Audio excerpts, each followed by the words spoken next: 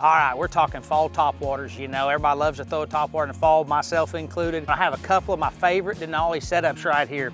You know, this Denali Attack series right here is one that I go to whenever I want a walking style bait. Something that uh, really stands out to me is it's got a short handle on it. Really allows you to walk the bait fast if you want to, doesn't get in the way. This is a seven foot two inch medium heavy, got a little bit of tip, got some backbone, a little bit, parabolic. Not a lot, but just enough to where I really think it fits this. You still get a really long cast out of it.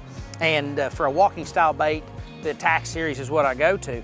Now, when I'm gonna pick up a buzz bait or something really cover some water, I wanna be able to make a long cast and the Covert series is what I go to here. This is a seven foot six inch actual swim jig rod, but I really like it. It's got a lot of backbone. It's got a nice soft tip. You can throw a buzz bait a mile with it. You can still lean on a fish on a long cast.